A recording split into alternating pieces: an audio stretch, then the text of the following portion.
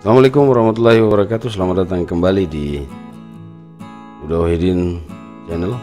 Pada video kali ini saya akan Berbagi satu tips yang sederhana Yaitu bagaimana menghilangkan Service layer kredit di RGS Pada saat kita menggunakan base map yang tersedia pada RGS Oke langsung saja kita buka salah satu base map yang tersedia di RJS yaitu imagery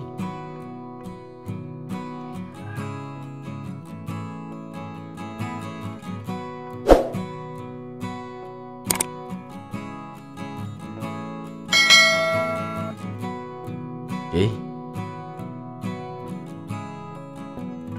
Saat kita menggunakan base map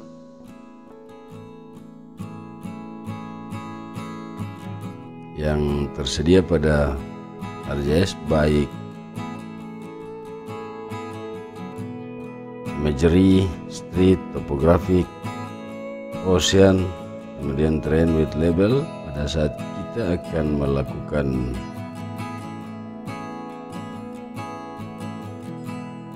layout maka akan muncul service layer credit. Contohkan pada bagian ini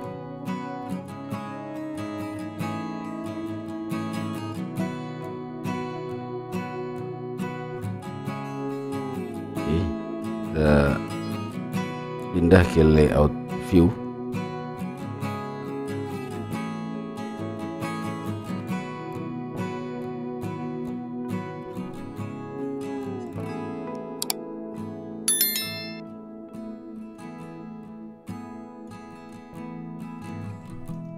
Nah pada saat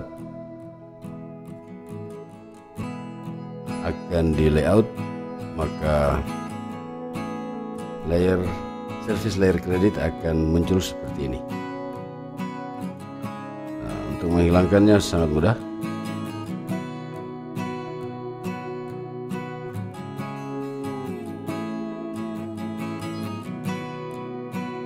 Jadi kalau kawan-kawan perhatikan nah, muncul layer service layer kredit. Pada saat kita menggunakan base map dari RJS nah untuk menghilangkannya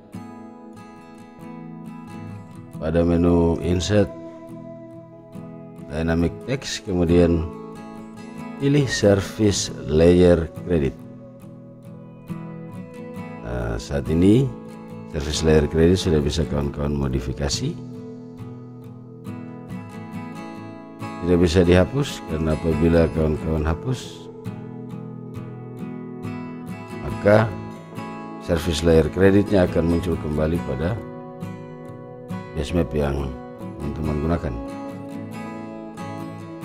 jadi agar tidak mengganggu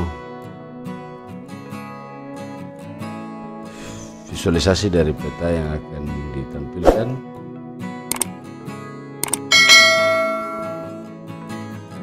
Ini misalnya.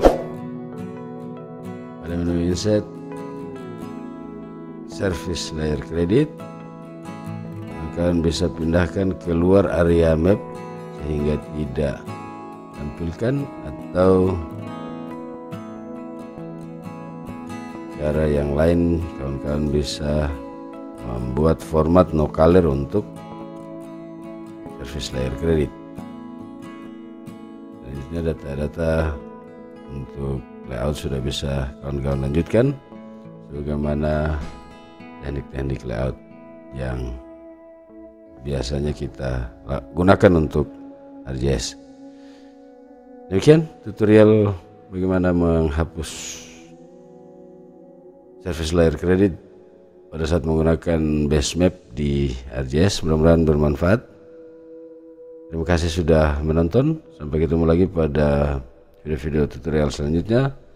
Assalamualaikum warahmatullahi wabarakatuh dan salam